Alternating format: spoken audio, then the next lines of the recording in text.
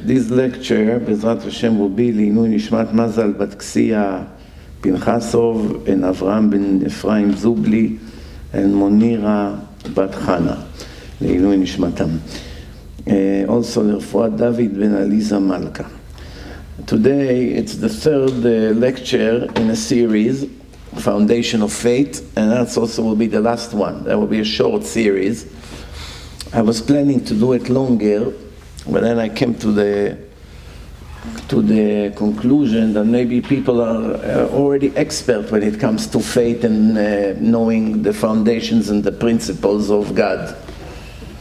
You know, so uh, you can see based on the amount of views that people have on a lecture how much they have interest in it. So when they hear faith, I think everyone thinks he's already a great believer even though the, the exact opposite is the truth, but it is what it is. Last Monday was a very good lecture, uh, Marash Fire. If you came here last Monday, you know what I'm talking about. One of the best lectures there was ever, maybe. But uh, we will conclude basically the main things today, and then otherwise it would be a very long series. I don't want to continue and finish after Pesach. Soon Pesach is coming, we're going to a very long break. I'm going to Israel right after Pesach, and then I come back and I go again. So there will be maybe a very long period of time with no lectures. We will have to see how I'm going to plan it. Okay, so uh, Bezrat Hashem, we spoke about. Uh, it's working. Everything okay? Yeah. All right. So we spoke about uh, basically the, the world from the time of Adam until the time of Noah, for about 1500 years, that the whole world had to keep six laws, six laws, shesh mitzvot. Then in the time of Noah, after the flood, Hashem gave him one more mitzvah, which is ever min hachai, not to eat animals unless they dead first. This mitzvah was added to the six that he gave Adam. So from the time of Adam until the time of Noah, everybody knew there are six divine laws.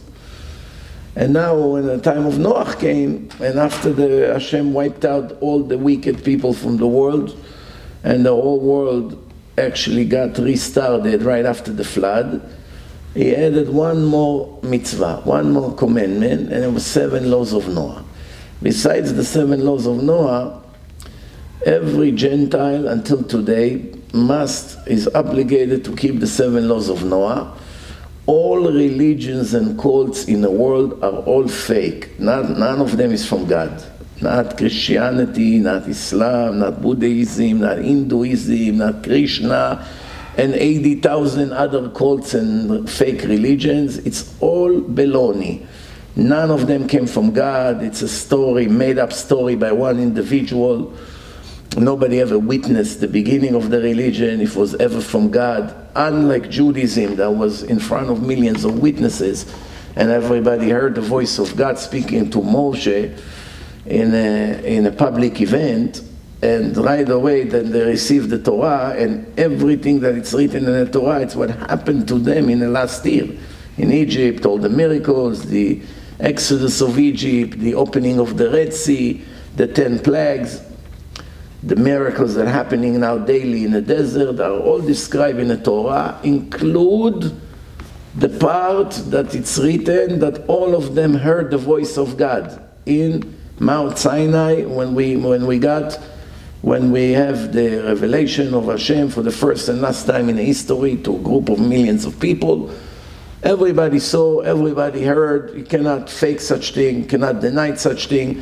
That's why the fake religions and the cults who came after did not try to deny the, the truth of Judaism. Uh, Muslim Christians say, yeah, of course, God gave you the Torah, you're the chosen people. Muslims say that, Arabs say that before Islam. Arabs admit it, Christians admit it. Even in their books it's written. In the Quran it's written that Jews are the chosen people. God took them out of Egypt, brought them to the promised land. It's all written in the Quran. It's the same thing written in the New Testament. They never tried to say the Jews never got the Torah in, in front of millions of witnesses. Unlike their fake religion that nobody ever witnessed the beginning of it, Muhammad came from nowhere in a desert and claimed he got the Quran. How many people saw it? No one. Even according to him, he was alone. Go and believe someone who tells you a story when nobody ever saw it. Plus, it's against all the rules and all the regulations. The prophecy already ended 700 years before Muhammad was born. There was no more prophets. Before that, there were prophets every generation, many. There are 48 Jewish prophets, seven female Jewish prophets, and seven Gentile prophets.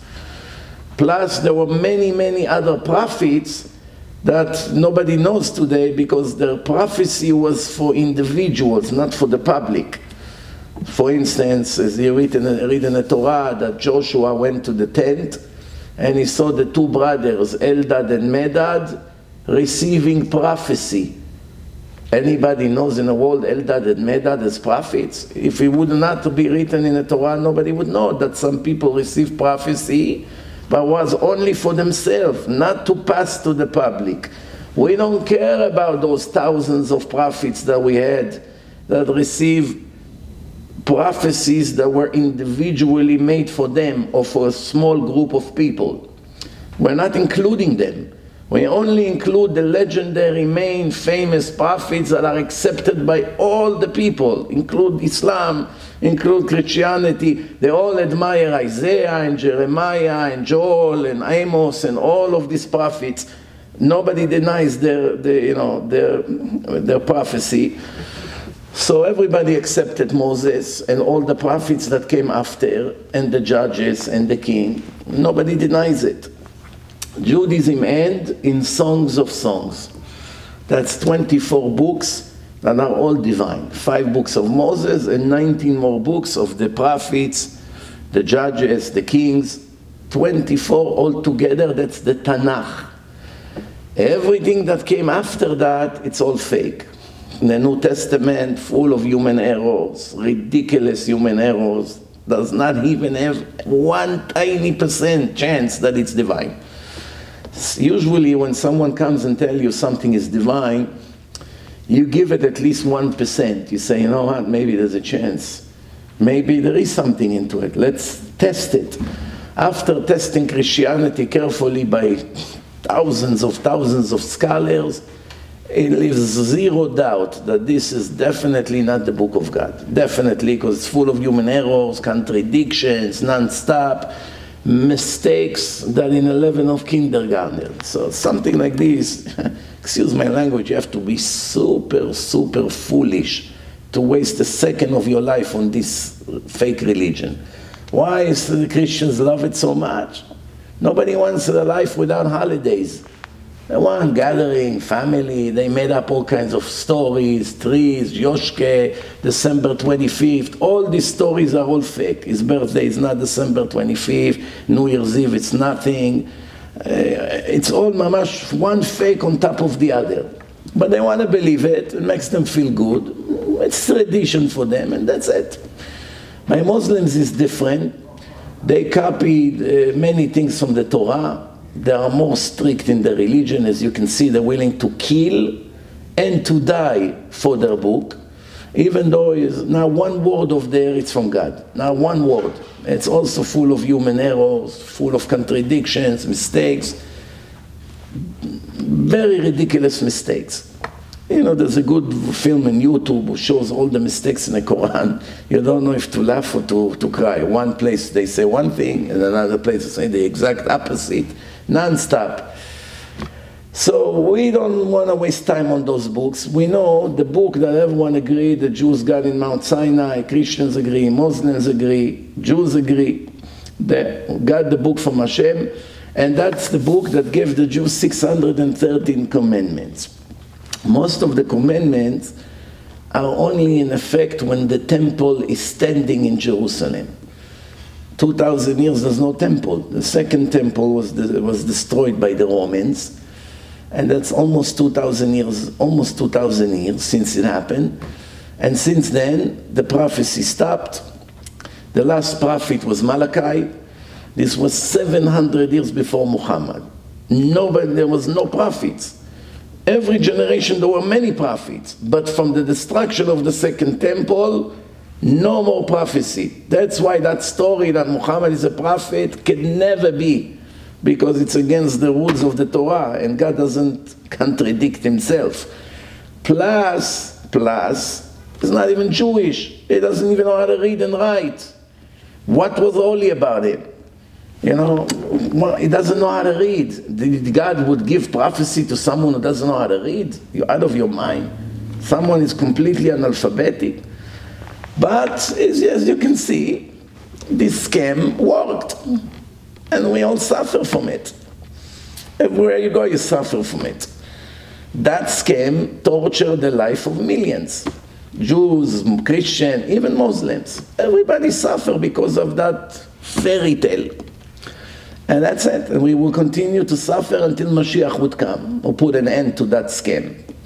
To the rest of the scams as well. But until then, we're going to have to live with these fake beliefs around and propaganda and all the lies and the made up nation, the Palestinians, who there was no such nation ever and everything, all their lies, one lie on top of the other, until one day will all explode in their face. But until then, we have to suffer from them. That's a part of our tradition. It's written that Ishmael, the children of Ishmael, which is all the Arabs, will torture the children of Israel before the end of days. It's written. Nothing you can do about it. So we live, we live in the middle of it. Now, once the Torah was given, the Gentiles in the world still have to keep the seven laws of Noah and every commandments that is required by common sense. Not everything is written for them. For instance, they have the seven laws of Noah, fine. But what about respecting their parents? Does it say that Gentiles have to respect their parents? No. It's not written. Why? Because it's needless to say. It's common sense. You have parents, they raised you, they took care of you, they paid for you, they brought you up. You have to give them respect. You have to respect every human being. You have to respect your parents more than strangers. For that, you don't need God to tell you that. Every normal person, even the animals understand that. Even the babies admire the parents in the jungle. So the, you don't need to come to tell the goyim every little thing. Just that you don't have to tell them you're not allowed to eat sand or you're not allowed to eat uh, poison. They know it, with or without Torah. Plus, not to be violent. It's common sense. Not to make the streets dirty. It's common sense. Not to be a cruel person. It's common sense. Not to torture animal. It's common sense. I once did a calculation how many commandments the goyim have to keep based on what's required by human being common sense It's around 60 something mitzvot together with the seven. So it's not so simple. They do have some things that they have to keep. You know? Many of the Gentiles, they don't know that when they actually perform an abortion, it's 100% a murder for them. It's against the seven laws of Noah a non-Jewish doctor that perform uh, an abortion will receive a death penalty for that. If not in this world, in the next world. So as many babies he aborted, for each one of them he will have to be executed. And again, and again, and again, and again. Remember, over there, there's no limitation of one-time death. I will explain. In this world, you can only kill a person one time. That's it. Once he died, he died. You can shoot him another 5,000 times. It's not going to kill him more than what he's already dead. Once the soul came out of the body, he's dead. You shoot him again. Is it going to make him more dead? No. But in the next world, after God separated the soul from the body, the body went to the ground, now the soul went up to the court of heaven. And the verdict was reached for Jews and non Jews if they go to heaven, heaven of Jews or heaven of Gentiles, or they go to hell, hell of Jews and hell of Gentiles. And there there's things that are worse than hell, such as Kaf HaKela and all kinds of reincarnations that can be in animals and, and, and raw material and plants. There's all kinds of punishments. But Jews and non-Jews, they come back sometimes as regular people. They have another chance, another lifetime. They're born in a new body and they have uh, X amount of years. And once they died, another trial. And then God decides, does he send them again in reincarnation? Or this time no more reincarnation, they send them to hell, and the hell is cleansing the soul from all the sins. Every sin a person commit makes a stain on his soul, spiritual stain. These stains cannot be removed with water and soap or showers. This is spiritual. The, the soul is something spiritual, is a divine energy. The, the, the dirt is all spiritual, it's not physical dirt that you can remove stains. The only way to remove the spiritual stains is in a place called hell. Hell, it's fire. Fire, for instance, if you want to clean silver, that's the way to do it, with fire. The question is, how do you apply fire on something that is not material? Fire can burn wood. Fire can burn plastic. Fire can burn uh, wool. Can burn papers. Can burn a lot of things. But how does fire burn a soul? How does fire affect the soul? So here we have to understand that a person, as, as you know, is a combination of a body and soul, and the body suffers physical tortures in this world, right? Can be, can be beaten up, can be whipped, you know, with a, with a, with a whip, can uh, have all kinds of sicknesses, all kinds of pain, headaches. It's all physical thing. What does it mean spiritual? Spiritual means you don't need the body to suffer. I'll give you an example. If you take a person right now with his body and throw him into the fire, he begins to scream, ah, for about a minute or two, and he dies. Usually even less than a minute. After X amount of seconds in a fire, the soul must comes out of the body. The minute the soul comes out of the body, there's no more feeling. It doesn't feel pain anymore. The body continues to burn, but the soul is already released flying in space and watching what's happened to the body. He sees his own body is burning, ashes. But he's wondering, wow, look at the wife, look at the children, all my friends, they're all crying. But I'm flying above and I don't feel anymore any pain. The pain was for about a 30 seconds. Once the soul comes out of the body, the entire nerve system is shut down. No more pain. All the pain that you feel is only when the soul is in a body. When the soul is not in a body, there's no pain. However, sometimes there's such thing called clinical death. The soul goes out of the body, a person is dead for a few minutes, and then the soul comes back into the body. For the few minutes that the soul was out of the body, the person is getting burned, or he just got crushed by a truck in an accident, he didn't make a beep. They try to revive him. Electric shots, oxygen, people scream, cry He doesn't feel any pain. Why? The soul is out of the body for a few minutes. The second the soul is gets sucked into the nostrils back again, the soul enters the body through the nostrils, as it's written in Genesis 1. וייצר השם אלוקים את האדם עפר מן האדמה, God created Adam sent from the earth, ויפח באפיו נשמת חיים, and he blew into his nostrils a living soul, ויהיה האדם לנפש חיה, a person became alive, three steps. First there is a shape of a body, it's all material, made from sand.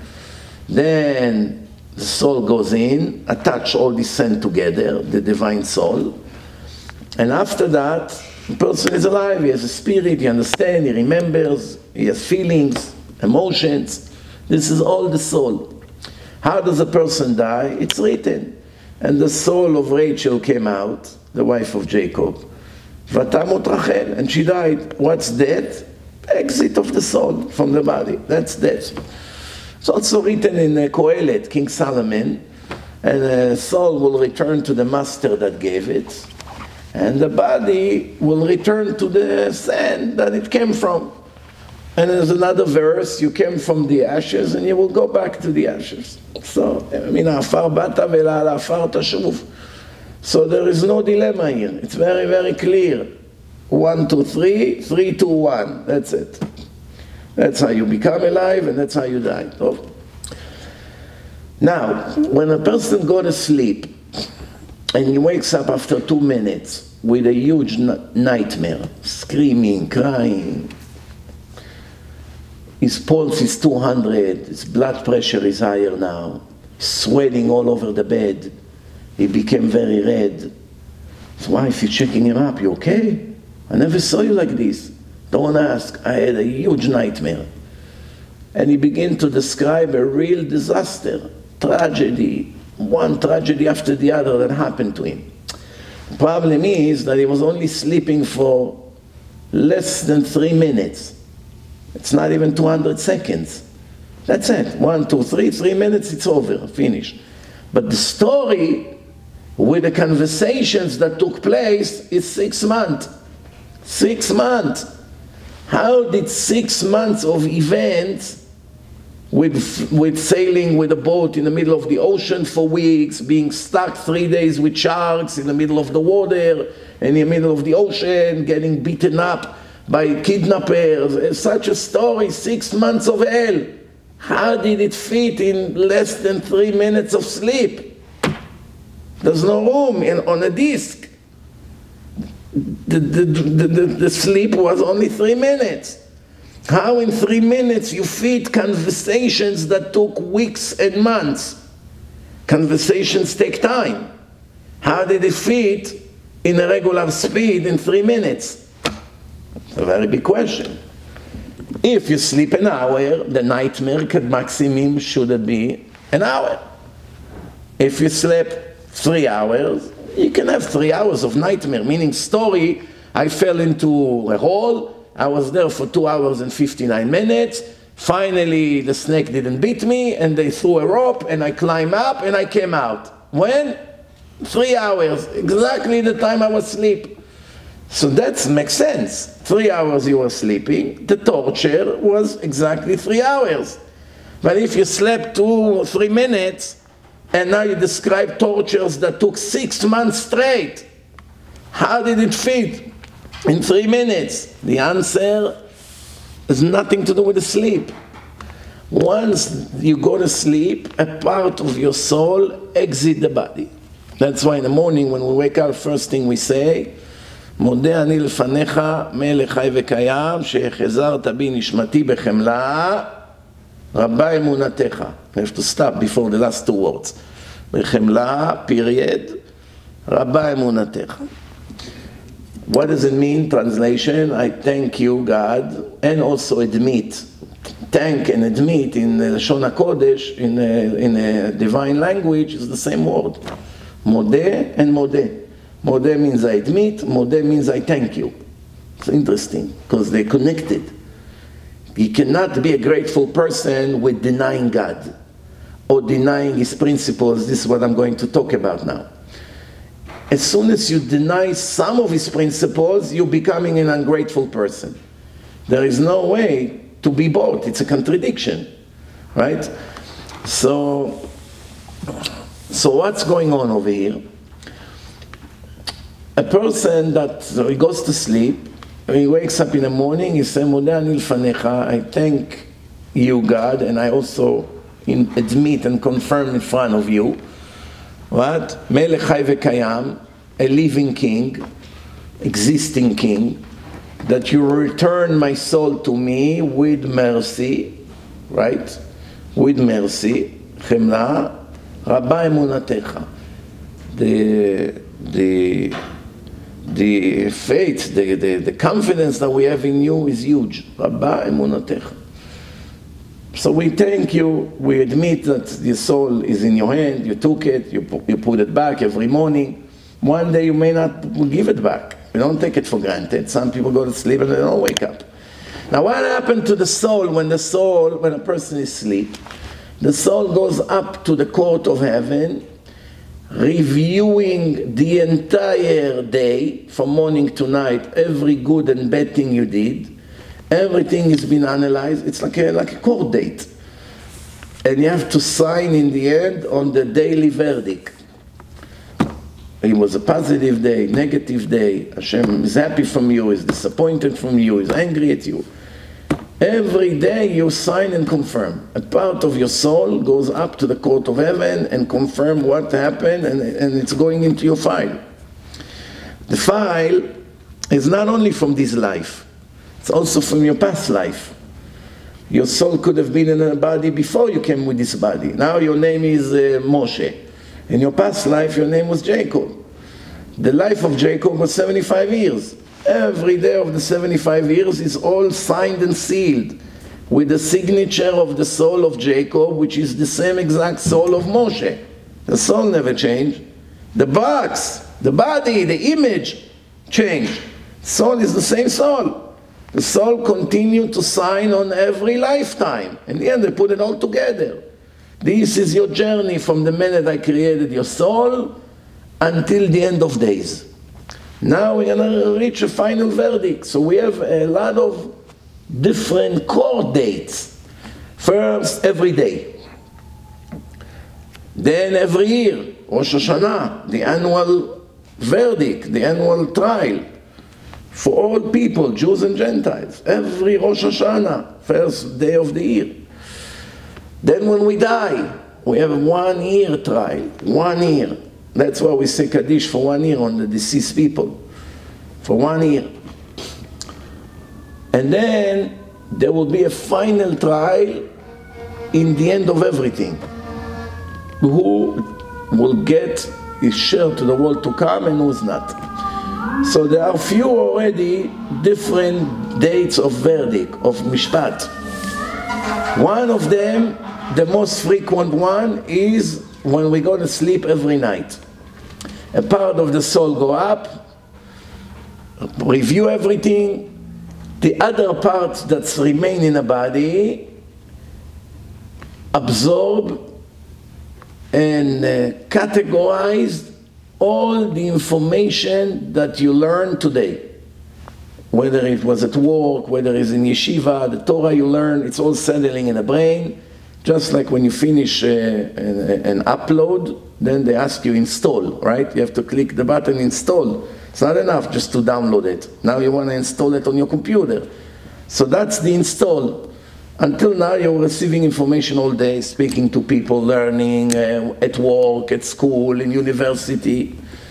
Then it has to settle in the brain. That's why you need to sleep at least six hours to get all the information recorded in your, your brain fully.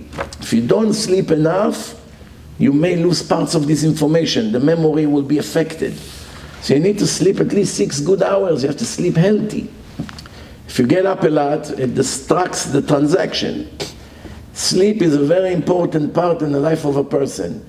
You cannot sleep too much, it's not good, but you cannot sleep too little unless you're one of these holy, giant, big Chachamim like the Gaon Mivilna, David HaMelech.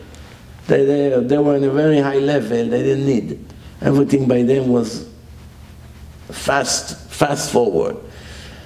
So now when the soul goes up to the, to, to the court of heaven, you know, it's analyzing everything together in a court, signing, going back. When he wakes up, Hashem push back the soul into the body and you're able to wake up. When a person is asleep, you see, he's limited.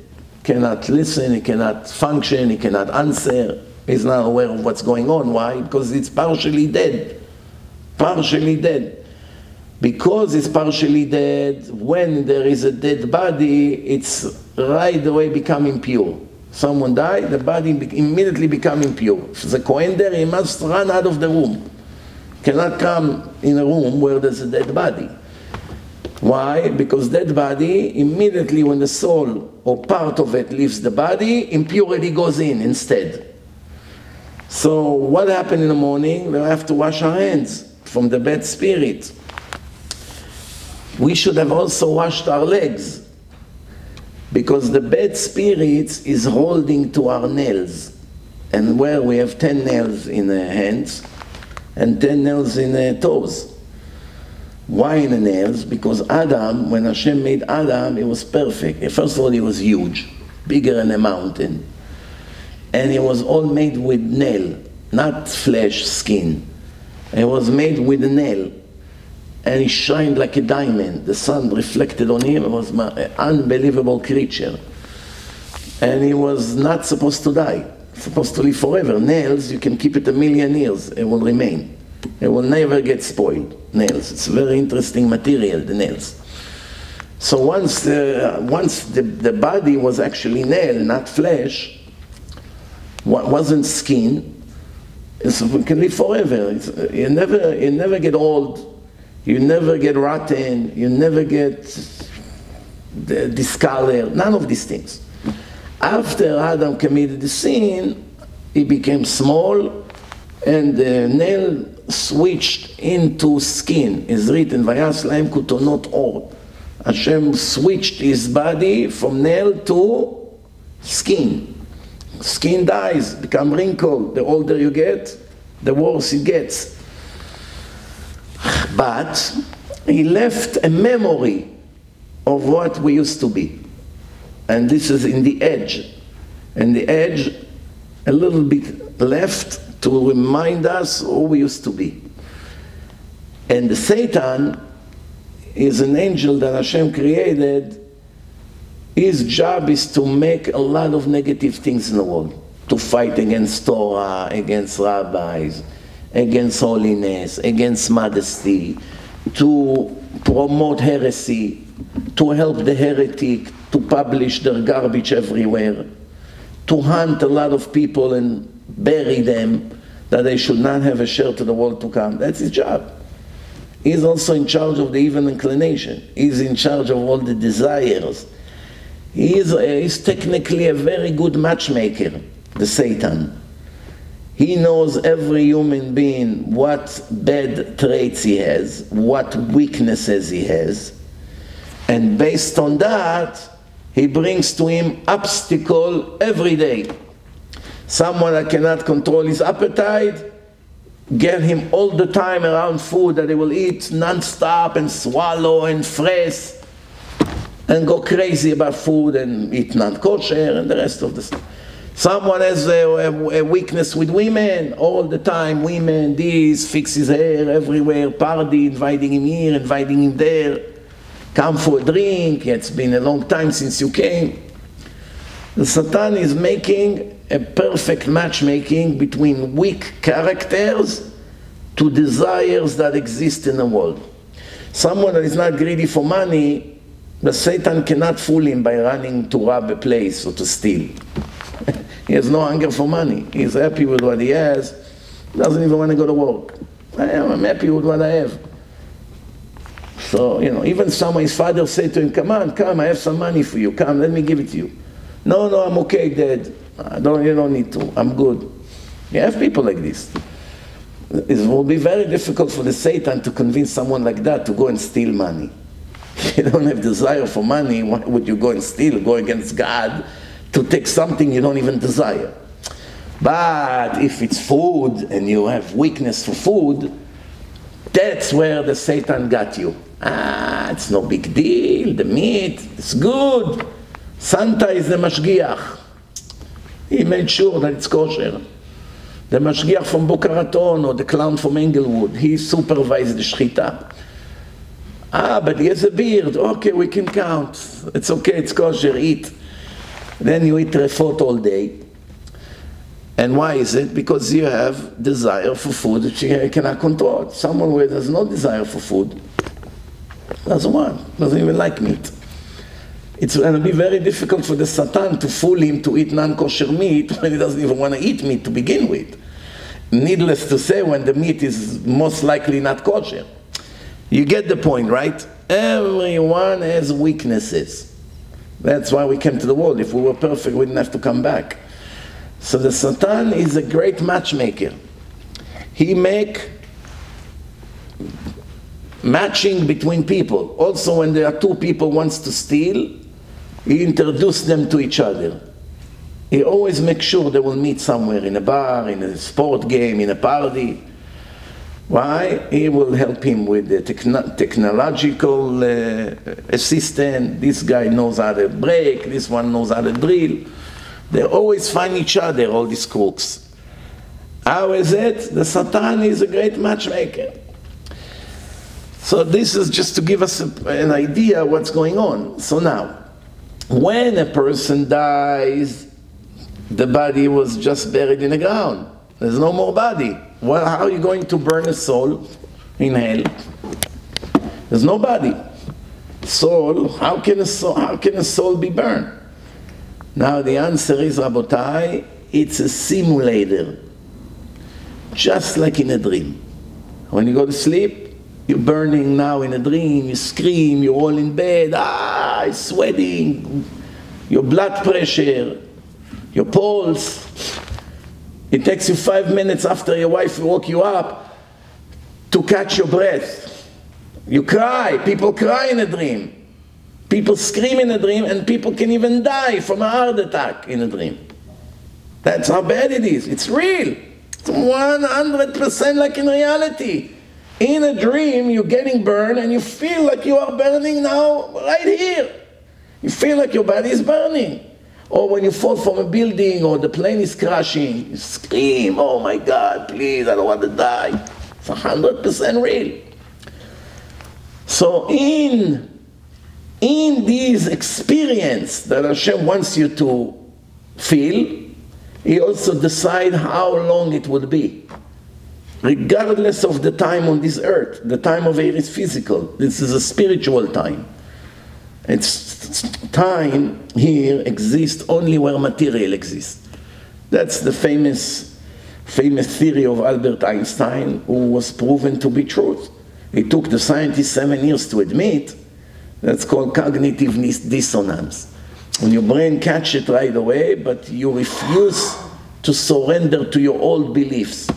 Meaning the brain and the heart does not work in the same speed in the brain, you know right away what's the truth. But then the heart resists. For, for instance, you just saw the person you love the most died in front of your eyes.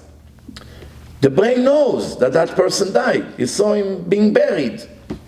But for months, every time someone knock on the door, you hope it's him. Why it's going, how? how? You, you know that he was already under the ground. Why are you still hoping that he's by the door? because it takes slower emotion, emotionally it takes a lot longer to digest the tragedy or even when something good happened. It's all a lot, much, much, much longer process. Same thing when someone proved you wrong. Your entire life was a mistake. Someone just proved to you that you're a secular, wicked person, ungrateful to your maker. And now one second in your life you actually touch the truth, whether you're Jew, whether you're Gentile you're going against your maker. You don't keep the laws, you don't care, you're ungrateful, you never pray, you never thank God for anything, you do a lot of horrible things, thinking no one is watching. All of a sudden, you just realize your entire life was all mistakes. Wow, how many stupid things I've done, thinking nobody's watching. So the point is okay, now you've just found out, you know, but you still resist. Why you have the desire, the comfortable feelings. How can I let go? How can I change my uh, personality now? How can I be a different person? I got used to this lifestyle. It takes years. Albert Einstein already said, time exists only where material exists. Why? Because it depends on the speed of Earth and the galaxies, the light, or everything. That's what makes time speed, the speed of the galaxies and the Earth and the rotation of the Earth, 1700 kilometer per hour, that's what creates 24 hours every day. If the speed of the Earth would be faster, instead of 1700 kilometer per hour, it will be double, 3400 kilometer per hour. Day and night will be 12 hours. Six hours day, six hours night. If it will be slower, they could have been 40 hours, 50 hours. Depend on the speed. Seasons depend on how quick the earth rotates around the sun. A full circle is 365 days and few hours. If you change that speed, summer instead of six months or four or three months will be seven months. Winter could be two years. But then the entire earth will be messed up. Your photosynthesis, the plants, the fruits, the vegetables, everything will be messed up. People will die from depression, like in Iceland and Norway, North Pole, all these areas. People kill themselves because it's very, very depressing. Six months darkness, cold and dark. People don't want to leave. Places of sun. Look, a lot of people move to Florida. Why are you so happy in Florida? I don't know, I can't explain. You're not a person that goes and sits on the beach every day or sit in a boat. You didn't even get a boat. What makes you so happy in Sodom and Gomorrah? A place that people walk naked in the middle of the street. You go into the elevator and your religious children see naked women standing next to them in a building, in the streets, in the supermarkets, in a pharmacy, in a parking lot of the building. You know, it's not just on the beach or by the pool. It's everywhere. People walk naked on the street. What religious person wants to live there? The sun, the sun. I hate the weather. So the weather will make him lose his olam haba, the weather. The weather. How to believe? Why? People love the sun. They love light. Some people, if you shut the lights in the house, they get depressed. It's very interesting. The entire thing will change. That's why Hashem designed it that the year will be 365 days and that uh, the day will be 24 hours. Everything is exactly like the Torah. In the Torah, you have a cycle of a year. And how many weeks you can have, and how many chapters going to read, divided to 52 weeks with the holiday. It's all exactly as the Torah of Hashem. Why you have fingers? Because you need them for the, for, to practice the religion. Why you have an arm? Because you need to put tefillin. Why you have eyes? Because you have to see and to learn and to understand. Everything is based on what was written in the Torah. Why you have parents? Because you have a commandment. You should respect your parents. If you didn't have it, you didn't need to come to the world from parents. You could have grown a tree. A tree has a, a nice, nice fruit is growing, growing, growing, becomes very heavy, boom, detach from the branch, falls on the floor, crack like an egg, and a little midget comes out and begin to walk and grow by itself, just like the deer, just like the monkeys.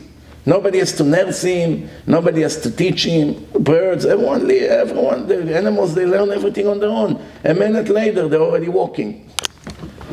Hashem could have made us like that. He has no, no limitation. Why does he need a father and a mother and there's so many rules? Who comes first here and who comes first there? Father, mother, genealogy, your religion, your, uh, you know, nationality, from the mother, from the father, all of these things. It's a part of the religion. So, that's all a simulator. Just like when you sit in the Air Force simulator and you feel exactly like you're flying an F-16, you see Tel Aviv, you see the building, you see the highways, you see cars moving. They made a simulator one million percent precise. Precise. Mamash unbelievable. Every tree, every leaf that you have in Tel Aviv, you see in a simulator. You know, when, when uh, you sit in a simulator, it looks like the cabin of the F-16. You have the stick, you have the gas, and you begin to fly. Then in one minute, you're from Tel Aviv, you're already in the, in the south, in Be'er Sheva. In one minute, shh, it flies, it can fly faster than the speed of sound, which is one Mach. I think it's 1100 kilometer per hour speed of, of sound. Speed of light is uh, 300,000 kilometer per second. Per second. Speed of light is a lot, a lot of, of, of the sound is a lot slower.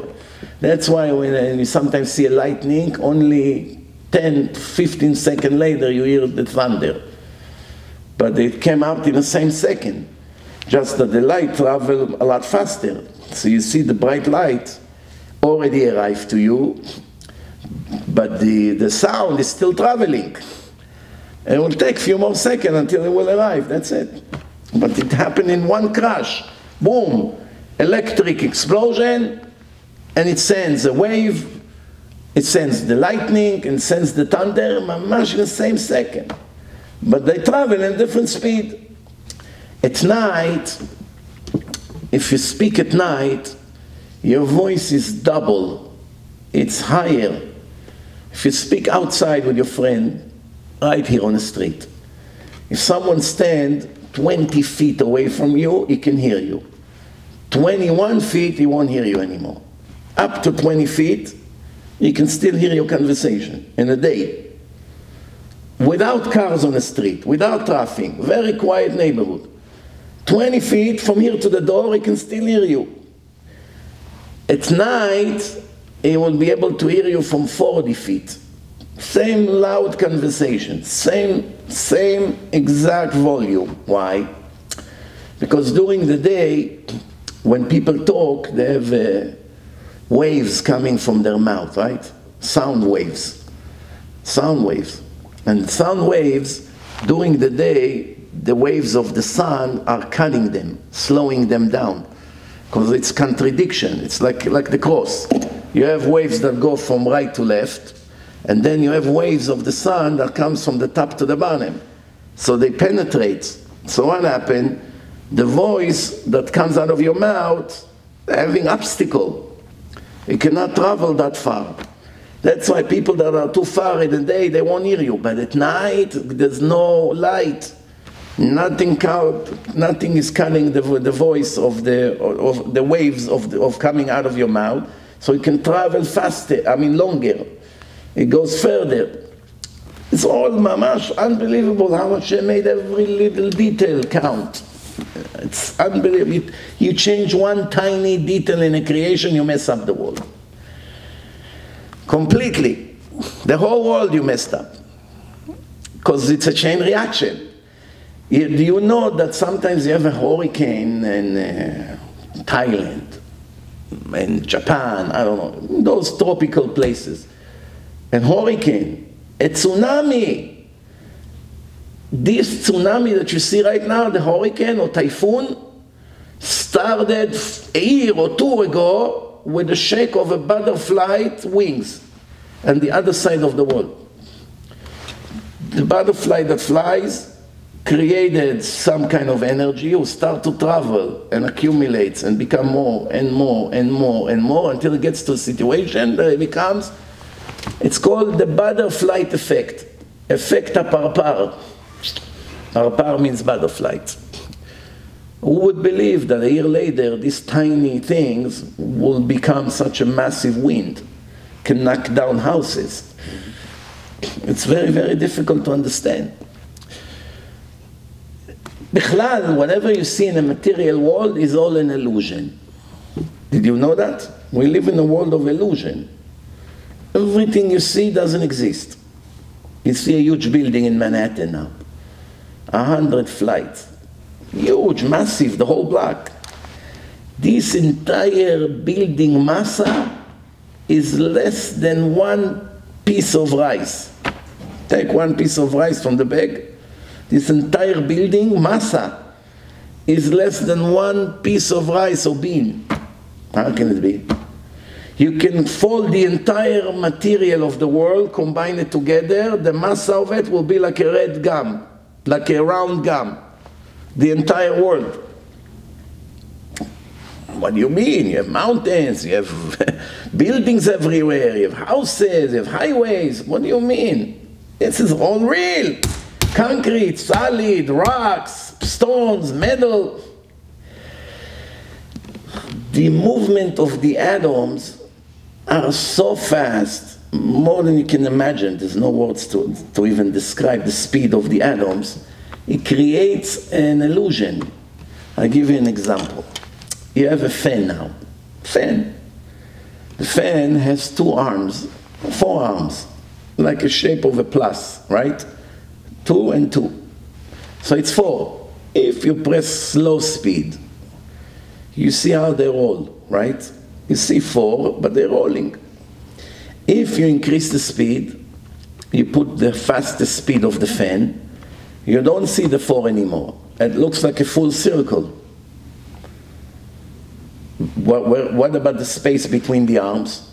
There are spaces, right? Here. If this is the, this is the, right now, the fan, right? There is space here and space here.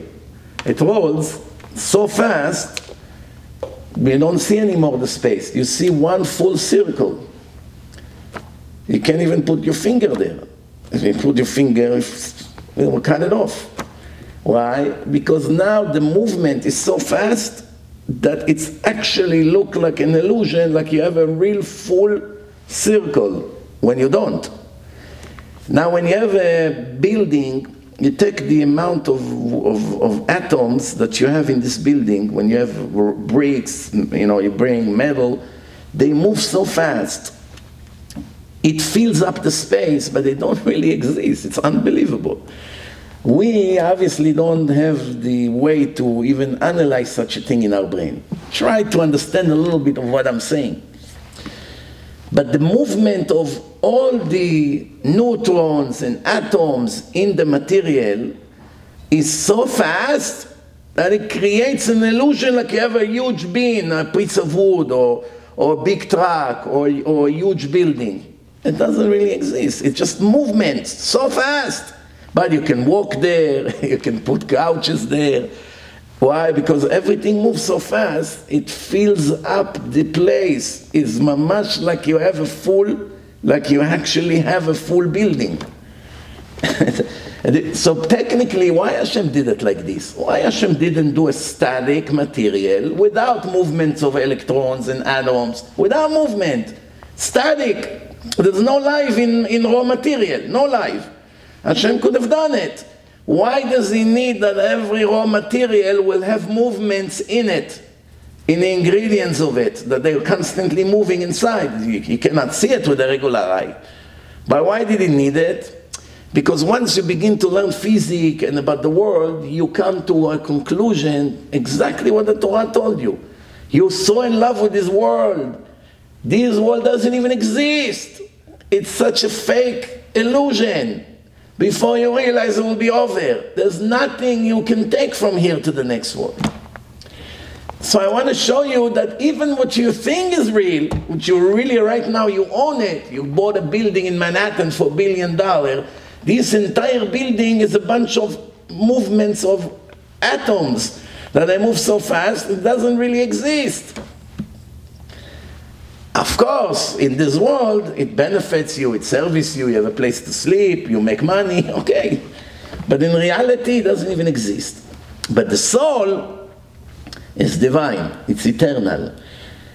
It never get decreased, it never get old, it never lose the, the, the abilities that it has because it's divine.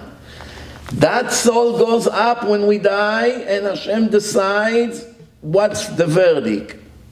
If he decides that a person has to go to go to be in hell for 500 years, 500 years, until all the stains that are on his souls will be clean, then he send him to a special place. There are seven different sections in hell, Shiva Medore Gehenom, and according to the sins, that's how each place cleans the soul. Not all places is the same. Different kind of fire, different, different. If you read Masechet Gehenom, you'll be shocked.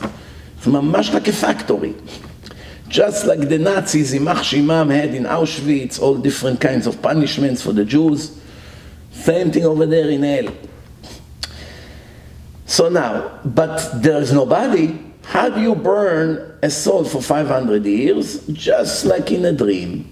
Remember in a dream, you go to sleep for, for 5, 10 minutes, 20 minutes, an hour, and you wake up with the suffering of six months. Actual suffering, screaming, crying for six months. Oh my God, I can't take it.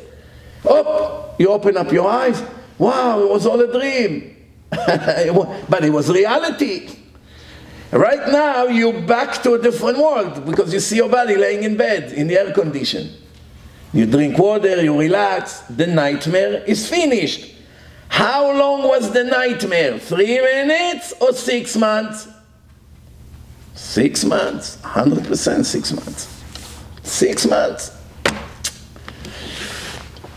Same thing the Torah says that a person is not where his body is, where his mind is. Technically, you can see now in a synagogue, someone sits over here, but he's not really here. He's not here. Where is he? Where his smartphone is taking him to. One guy is now talking to someone from Japan on his email. Another guy reading the news, so he's now in the office of Sleepy Joe. That's what he reads right now. One mind is staring at me, one guy, but his mind is in what he had tomorrow to do in a business. That's where his mind is. One girl is sitting over here thinking, wow, will I be able to go home on time today to put the kids to sleep? Or maybe the nanny will put them to sleep. Should I leave before? Should not? Her mind is with the kids now. What are they doing? I wonder if the new nanny, she knows what she's doing. I'm worried, the babysitter. Everyone is where his mind is. He can be sitting in a yeshiva, but his mind is on the beach. On the beach. He can be on the beach with a ear, earphone on his head and listening to Gemara Shiur. Sleeping, getting ten, and his mind is in yeshiva now. He's listening to the record, recording of the shiur that took place yesterday in yeshiva. It's mamash there. He see the walls, he see the books, he see the face of the rabbi. That's where his mind is. A person can be with one person intimately and his mind is thinking about a whole different person. According to the Torah, that's already cheating. Why cheating? It wasn't physically with someone else. Where the mind is, that's where you are. That's where you are. If one person thought that he's with one girl, thinking this is Rachel, and in the morning he found out it's a different girl, and she conceived, that's called Ben Tmura. The kid is came out from this woman, but was created with the other woman in the mind. That creates a lot of problems in life. That's called ben tmura. Tmura means hamara, to replace. You replace something with something. Someone fooled you. He gave you a fake bill for, for a real one. You give someone a hundred dollar, he gives you five twenties, real twenties. You give him one, uh, 100 bill fake, fake. It's not real. This is called Amara. So there are many examples like this. After we learn all of that, now the conclusion that we have to understand here is so therefore nobody can run away from Hashem, everything is recorded, עין רואה ואוזן שומעת וכל מעשיך בספר נכתבים, everything is recorded, everything, audio, video, there's not one sneeze that you had in your life that will not be analyzed. Everything. Jews and, Gentiles. Even Gentiles. By Jews, the demand is higher, the reward is higher, and the punishment is higher. It works both ways. Jews can charge interest from non Jews can charge them interest, give them a loan, charge them interest. Jews also allowed to pay Gentiles interest. It works both ways. It's a two-way street. It's not discrimination here. Yitzchak lended money to Chris, charge him, I don't know, 15% interest a year. Next year, Chris lended money to Yitzchak, charge him also 15%. Both transactions are legal. Jews can charge interest from non-Jews, non-Jews can charge interest from Jews. Why? They're not brothers. It's two different nations, different genealogy, different family tree. The Torah say, do not charge interest from your brother. But remember, there is a comment here. Remember what I said last week? Every time the Torah say brother, achicha, reacha, amitcha, all these words, is only a Jew that is Shomer Shabbat. Every Jew that is not Shomer Shabbat, according to the Jewish book of law, is not considered a Jew. Therefore, if you give him a loan, if you charge him interest, you didn't break the rules. It's, it's count like a non-Jew. Of course, we don't do it. We don't want to do it. If we did it without knowing, okay, what you did, you did. At least you did not commit a sin. But lechatchila, to begin with, you don't want to give a loan to a secular mechalel Shabbat, charge him interest, even though it's allowed, because what are you going to do if a month or two later will become religious? Become Baal Tshuva in the middle of the loan. Then from that moment on, you're not allowed to charge him interest. What are you going to do? I don't have the principal to pay you back. We said it's a loan for one year. I have 10 more months. Yeah, but you're not paying me interest. You became Shomer Shabbat. I cannot charge you interest. Until now, you were like a non-Jew. But now you consider a Jew, you became Shomer Shabbat. I cannot continue to charge you interest. Give me back the money. I don't have it. I'm sorry. We made a contract for one year. It's a problem. One other reasons we don't like to do these things is because some Jews are considered tinokot shenishbu. They don't really know anything from their life. Nothing whatsoever. They grew up like non-Jews. They raised them like non-Jews. They don't know how to say Shema Israel. Many Americans are like that. In Israel, it's hard to find people that completely don't know anything. Maybe in a kibbutzim, some in Tel Aviv, but most Jews are connected, traditional, they have relatives, friends, religious people in a building, synagogues every block. You cannot say I didn't know about religion. You cannot say I didn't know there's such thing Shabbat. Or I didn't know there's a holy Torah. Secular people in Israel, 8 out of 10 when they see Torah on the streets, when they do Achnasat Sefer Torah, they come to kiss. Meaning they understand that this, this book has a special value. They don't kiss the phone book, they don't kiss the newspaper, they don't kiss the dictionary, but when they see the Torah, they come and kiss. So what do you see? That they are hypocrite. They know the Torah is divine, they know it's holy, they know it's the book of God, they just don't want to know what's in it. The more I know, the more I will have to keep. The more I will know and not keep, the more guilty I will feel. and will ruin my quality of life. That's why the less I know, the better it is. I won't feel guilty. I will enjoy my sins. That's a calculation of a moron. A pure moron. Only morons things like that. Why? not knowing the law does not dismiss anyone in a history from the punishment. you just killed someone. What are you going to say to the po police? I didn't know it's not allowed to kill. No one ever told me. I laugh at you. I didn't know you're not allowed to steal. I didn't know you're not allowed to break into someone's house without permission and sleep there. I didn't know. You didn't know, you go to jail. Doesn't matter. Here, what are you going to say to God? I didn't know. You can fool him. He will say, yeah, but you had all the time in the world to come and find out. You saw so many people around you living by the book, living, speaking, screaming, demonstrating, protesting, protest everywhere for Shabbat, fighting, getting beaten up, not to let people break Shabbat in the neighborhood. Never occurred to you to check why they're giving their life for? What's going on over here? The answer is, of course, he knew. He just doesn't want to keep.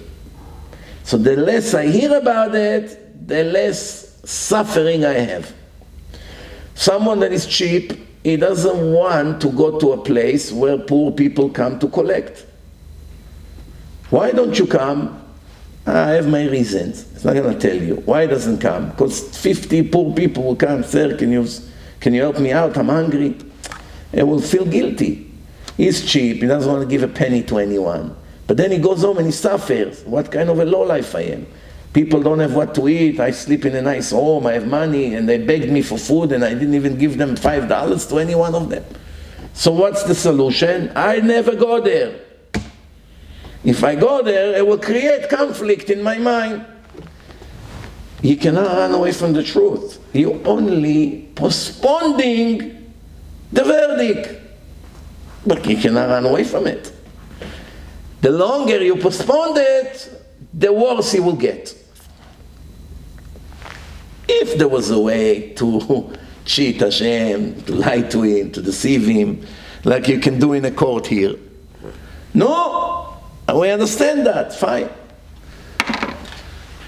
At least, you know, there's a way around it. I'll take my chances, but there's no way. It's all documented. Nobody can run away. So the faster they will adjust their lifestyle to the divine book and instructions of the Creator, the faster they'll get saved from what's waiting for them. They can laugh all they want. They can make fun of the righteous people all they want. In the end, et akol yavi Hashem b'mishpat. In the end, everyone will have to pay for every word came out, came out of their mouth. No one can run away.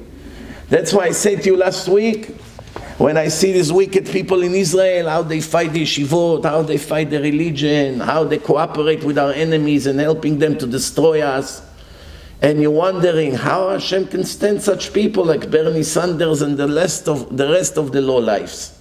You have many of uh, like him in Israel, sitting in the Knesset, traitors, original traitors. So the question is, how does God give them oxygen? He gives them a nice home in Tel Aviv, private, garden, nice car, salary for life they get, politicians, dirty people, corrupted, fakers, traitors, ungrateful people, thieves, every negative things you have in them. How can they even survive a second? How Hashem is not allergic to them? The answer is absolutely allergic to them. But his allergy and our allergy is different. He is perfect, therefore he can handle every situation you want. Any. We can't, or he can break our spirit. He can make us kill someone. It can make us kill ourselves. It can make us go into depression. Certain things in life can destroy the mind of a person. Destroy him. Cannot function after that. Hashem doesn't have these issues. He doesn't get depressed, he doesn't get broken, he doesn't need uh, pro, uh, uh, Prozac, he doesn't need to smoke grass to relax every day. He's perfect no matter what happened in the world. He was perfect before there was any world. And he will still be perfect after there is a world. Nobody can elevate him or lower him. There is a verse, תנו עוז לאלוקים, give strength to Hashem. Some fools who their level of learning in Torah is like first grade, they call themselves speakers, they translate it literally. Why? Because they are in a level of first grade or kindergarten. What does it mean give strength to Hashem? Hashem is the judge in the court of heaven, and the Satan is the prosecutor. The nation of Israel commit billions of sins every day, billions. The Satan takes the sins and come, I want a Holocaust. I want October 7. I want thousands of bodies. These people don't deserve to live. These traitors don't deserve to live. These Mechalelei Shabbat were supposed to be dead a long time ago. Doesn't your Torah say Mechalel Shabbat Mot Yomat? We just read it on Shabbat. Shabbat, we read it in the parasha, Ki Tisa. Satan is building a case comes the Michael Sar Israel, the defense angel. He said, look how many yeshivot, look how much Torah, look how many righteous people you have. Look how, how many holy people you have. They give their life for Hashem. You want to wipe up this nation? You want to wipe them out? You want to kill uh, Rav Kook? You want to kill Rav Ades? You want to kill 5,000 others like this? That's what you want. So there's an argument. So we have to give strength to Hashem, meaning the judge has to make a fair verdict. We have to do good things. And once we do good things, such as charity, for instance, we give tons of charity. Charity, tzedakah tatzil mimavet. If we give charity, right away Michael Sar Israel come and saw objection. Look at the Jews, they just gave a billion dollars this last week to needy people, to miserable people, to the soldiers, to people that their houses were burned. Look how much unity, look how much chesed, look how many wonderful things there happened this week. That gives Hashem strength to be able to resist the request of the Satan. Spiritual, in the judgment. Not that Hashem is limited. He needs you to give him strength. He cannot pick up the watermelon. Come, let's help him out. Morons. Dumb people. That's what they teach. Here, Hashem needs us. You see, it's written, תנו עוז לאלוקים. I don't know if to laugh or to cry. I really tell to tell you the truth when I have to deal with such fools. Fools! They don't deserve to be students, forget about speakers. It's written, תנו עוז לאלוקים. You call yourself a Rebbe in yeshiva? This is what you teach? Teach the Torah literally? Literally. This is how you teach Torah literally. When you reform, reform, they try to understand the meaning of the words literally. Not that they care. They still do the opposite of, of what the Torah say literally. But that's the way they understand it. It's written, Hashem has a face. We just read in Shabbat, Parashat Ki Tisa. Moshe said to Hashem, Odieni na et kvodecha. Hashem said, I cannot see my face, but you'll be able to see my back. But one of the 13 principles of Judaism that Hashem doesn't have an image. And anyone who imagines God in any form or shape or color is a heretic. It's against the 13 principle of Judaism. Now, when the Rambam wrote it 900 years ago, the 13 principle, the Rambam knew the Torah by heart, every word, much better than all the rabbis in the world today. There's no question about that. The greatest rabbi in the last thousand years, together with Rashi. So if Rambam writes the 13th principle of Judaism, and one of them is that Hashem doesn't have any image or any shape or any, I cannot imagine him in any way. But it's written in a verse that Hashem said to Moshe, you can't see my face, but you can see my back. That means that there is a different meaning to this conversation. Because every fool knows what's written here. You don't need to be a genius to understand simple Hebrew. But if the Rambam tell you God doesn't have an image, but it's written that you cannot see my face, you can see my back. So does he have an image or he doesn't have an image? Hashem say, Ki lo irani adam. Nobody can see me and stay alive. So I'll tell you the secret of it. Tomorrow in the lecture in Brooklyn, I'll speak about the parasha, so I will speak about it deeply when Hashem comes and say to the people, nobody can see me and stay alive. If Hashem doesn't have an image, then what is it to see? What's to see? If there's no image, you don't even need to waste a verse in the Torah. Uh, nobody can see me and survive. There's nothing to see. You get the point? If you say, nobody can see me and survive, meaning there is a way to see me, but I will prevent it. Because if you will see me, you'll die. I don't want everyone to die. So then from here we learn that there is something to see. But that's not what the 13th principle says. said there's nothing to see. Hashem doesn't have an image. So what does it mean? The Zohar say, the Zohar say, Ki lo irani adam v'chai, nobody can see me and survive, stay alive. בחייהם אינם רואים, אבל במותם כולם רואים, שנאמר לפניו יכרעו כל יורדי עפר. Translation. In their life nobody sees God. But in their death everyone sees God. As it's written, a clear verse. In front of him everyone bowed down on his way to the grave. On the way to the grave, Everyone bowed down to Hashem. What do they see? If there's nothing to see, okay, I want, I want to bow down to Hashem, but where are you? I don't see anything. I, I don't know how. From here we learn the literal explanation is there is something to see. The Rambam come and say, and Chazal say, there's nothing to see. Even if you imagine letters, when you pray, it's against the Torah light against the Torah, white color against the Torah, a big, a, a big image in the sky with a nice white beard against the Torah. This is all heresy. It's written, אל מי תדמיוני ואשווה, anyone you trying to imagine me like it, it won't be me. No matter what. Meaning, from here we learn that all the images that we are used to and we saw in our life, that's not God. Mean, it means that He has a spiritual image that we can never see. But in the next world, we will be able to see something. Otherwise, he would not waste a verse and say, Nobody can see me and survive. If there's nothing to see, why are you warning me that if you could see me, you would die?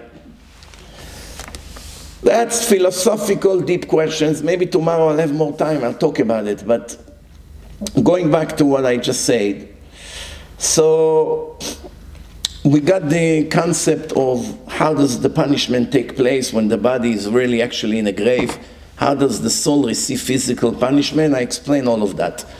Now i want to conclude we don't have that much time left. I just want to conclude quickly because i'm finishing the series today. That's it. It's a three lecture series. So i just want to conclude finally to speak about the, the principles of the torah and shortly for everyone to understand what they must know every second of their life. Jews and non-Jews. This principle also applies to non-Jews. It's different obligation. But for instance, if a non-Jew wants to become a Jew, he wants to convert, first question in a beit din will be, tell us the 13 principles of the Torah. And explain it. And if he doesn't accept one of them, he can never be a Jew. Can never be. Now you may ask, but there is some kind of a contradiction here. Okay, I'm Tony, I want to be Jewish. I come to the three rabbis in the Beit Din, I said to them, I admire Judaism, I love the Torah, I love God, I just don't believe in one of the 13 principles. What? I do not believe that the dead people, after hundreds or maybe thousands of years that they are in a grave, one day will come back to life. I'm a doctor, I went to university, medical school. I know that people don't come from the ashes, uh, from a skeleton and become people. I, don't, I just know it. It's not scientific. So I don't believe in it. You're allowed to convert him? You're not allowed to convert him. Why? Because there are clear verses in the divine book. I will open up your grave and I will put back your spirit back into the body, and your body will grow ligaments and flesh and skins and muscles. And I'll take you out of the grave, open up your grave, take you out of the grave, and you all come back to life. It's clear verses. So if he is more academic than religious, he's a heretic. Cannot convert someone like that. Then Dr. Tony would say, but I don't, I don't get it. I have a Jewish friend, Dr. Mark, Dr. Abe, Abe, Abe Cohen, Dr. Cohen. He's just like me, and he's religious. He goes to the synagogue in Brooklyn, put tefillin every day, and pray. He comes to Shomer Shabbat. He also doesn't believe in the resurrection of the dead. Why he can be Jewish and I cannot? Good question, no? My discrimination? If you say that in order for you to be Jewish, you must accept the 13 principles of Judaism, if someone refused to accept it, then, then, then you announce him as a non-Jew. That's a big problem. Someone like that is an apikores. You cannot count him in a minyan. He's right. Tony is right. You cannot count a Jew like this in, an, in a kosher minyan like a Jew. He's an, he's an apikores. Let me read it to you instead of believing what I say. I'll read it to you. The first foundation is to know that there was the first existence before everything else existed. And he is the founder of everything. And he invented everything. And everything you see was invented and created by him. And all their existence is only thanks to him, nothing else. They don't have any existence of their own. They cannot benefit each other. Uh, product one, benefit product two on his own. No. The only way they can benefit each other, help each other, complete each other, work together is only thanks to him and thanks to his supervision and abilities. Without him, nothing can work. Without him, there's no creation, and without him, the creation cannot function. That's the first foundation. Second one, this master of universe is the leader of the whole world. An unlimited strength and ability whatsoever. Doesn't have even a drop of weakness or something that is incomplete about him. And his strength never get lower ever, even by a tiny percent. There's no such thing fatigue by him. I need a rest. Let's take an hour rest. The world should go easy a little bit for an hour or two. I need to catch my breath. I work very hard today to supervise the world. There's no such thing. And there's no stoppage. And the wheel is always turning. And it can never turn without some energy who turn it. All the galaxies, all the stars, the rotations of each star, the movements, billions and trillions. Every star is a thousand times bigger than Earth and turning and not colliding with each other all their movements, all their temperature, all their energy is all coming from Him. They don't have anything of their own. The sun, the sun temperature in the middle of the sun, the center of the sun is 15 million degrees Celsius. It's more than 20 million degrees that we have here. In 80 degrees, I'm fainting already. Imagine now 100 degrees, uh, I don't come out of the AC, I can't breathe, I can't move. 100 degrees, imagine 15 million degrees, 20 million degrees, 20 million degrees. And for thousands of years, it never went down by one degree, ever. Always the same, always the same. Where the energy come from? What's the sun consume? It's a huge ball of fire. Fire needs to eat something wood, something to catch up to something. Fire doesn't have food, fire will die after a minute.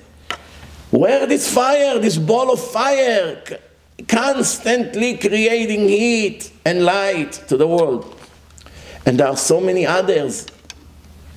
There. Who does that? It's only Hashem. It's Yesh constantly creating new energy, constantly, for thousands of years, for billions and trillions of stars, moving them, creating energy in some of them, and then he found a little tiny ball, smallest one, the Earth, and now he has trillions of trillions of options where to place it. Maybe here, maybe here, maybe here there's endless amount of options. You know how big space is, right?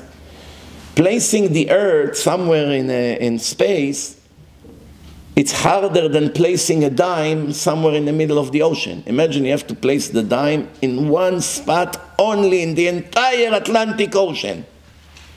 The dime compared to the ocean is not even a dot. It's nothing. You need to places the, oh, there's only one option from endless amount of options. That's nothing compared to space. You compare the ocean to the space. There is only one place that people would be able to live.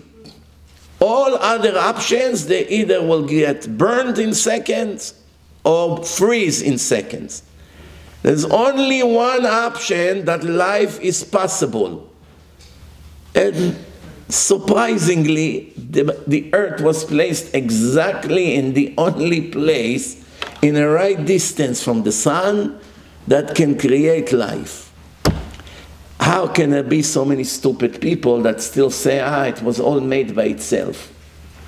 Random explosion, evolution, all kinds of shtuyot. From endless amount of option, only one option will be possible. From endless, you know, endless mean, endless mean trillions and trillions and trillions and, uh, until next year. Trillion multiplied by trillion, multiplied by trillion. Endless amount of option. Only one is kosher. Like you have endless amount of passwords you can put. There's only one password will open the computer. you can put any combination you want, billions and trillions options. None of them will open the screen. There's only one. And you have to guess it, and in one shot you guessed it. What are the odds? You have 20 digits now. Make up a password. Oh, are you crazy? 20 digits? That's endless amount of options. Guess. Okay, A, 5, Z, question mark. oh, boom, bingo. People will bow down to you right away. You're the new God. You're the new Muhammad. That's it. you are the new prophet. Who would ever be able to do such thing? Something like this can be coincidence. now, that's only one tiny trick. You have trillions of trillions of tricks like this every second. For thousands of years. Miracle after miracle, non-stop by every human being, in every brain, in every heart. To come and say, I'm an atheist, you need to be hospitalized immediately in a mental institution and never see another day of light if it was up to me. I would not let one atheist ever come out of the mental institution because that's where they belong. Because if someone will come and say this was made by a random explosion across the street in a garbage can, look, look at the lines, look at the parallel lines, one cent, it was made by an explosion. Would, would you feel safe around such a monster? You want your daughter to date such a person? If your daughter say, Abba, I'm going with this atheist on a date tomorrow night, would you be able to eat your dinner when she's on a date with such a monster? Every five seconds, you okay? What's the problem? I'm very nervous. Why are you nervous? You went on a date with someone that claims such a claim. Is not a normal person. Who knows what to expect from him next? This is people that runs the world in a Supreme Court. This kind of people. they sit and decide who would live and who will die. When they are the biggest danger to society. Professors in Harvard. No. The guy that sells the vegetables in Machne Yehuda is a million times smarter than you. He may not know physics, or math in your level, or law, or medicine. He may not know that. He's not so educated like you. But he's not a moron like you. He won't say that the world was made by a random explosion. He would laugh. So who's functioning more? You or him? You with all your degrees and academic studies say that the whole brain was made by a random development. Billions of billions of explosions created a brain. And this guy that sell vegetables, 10 for one shekel, he screams in a shuk. The professor laughed at him. Ugh, primitive guy. Look how barbaric, how he screamed. Primitive a million times smarter than you. When he hears the nonsense you teach in the university, he laughs. Your stupid student clap. Professor, can I get your autograph on your book? This book doesn't deserve to be a toilet paper. But that's the world we live in. One fool drag another fool and another fool. The question is, are they, these people that say that the world was made randomly by some explosions and billions and trillions of years of experiments and somehow everything connected together, do you really believe that there's one person that believe in it? You actually believe there is anyone that can believe such to you, such nonsense? I personally don't think it's not possible. It's just not possible. Because when you tell, you know, one, one time one rabbi said, I went to a supermarket in Yerushalayim, and there was a secular guy waiting by the counter, and he screamed, anyone here? Does any, anybody runs the store here? Shalom, יש כאן מישהו? The rabbi told him, no, the store runs by itself. There's no owner here. He looks at him and says, ah, nice joke, Rabbi. He said, no, no, it's not a joke. For years, this store for 20 years, it runs by itself. See how the tuna cans, look at the pickles, everything got on a, on a, on a, on a shelf, the prices, everything organized. Look, the heavy stuff in the bottom, the light stuff on the top. Look how everything is aligned. Look how the shelf of parable, mamash. What do you mean, run by itself? There was millions of explosions and in the end, the supermarket came out, and the merchandise that came from Israel all the way across the ocean and arrived to New Jersey port, and from there he flew somehow to Queens, and is right here by the deli, by the supermarket. Ah, Rabbi, מספיק עם השטויות שלכם. He said, why, why are you making fun? That's how the store runs. You know, it's not possible. Enough. He said, Your ear should listen to your stupid mouth. I told you the store runs by itself, you're making fun at me, but you said the whole world runs by itself. So who's dumber, me or you? oh, I never thought of it. לא חשבתי על זה. טוב, now you, ברוך השם, begin to think. So that's the second foundation. Nothing can happen here without his decision and without his will. Third, this God is only one. And it cannot be more than one. Right here, Christianity goes right to the waist. There cannot be any divine entity.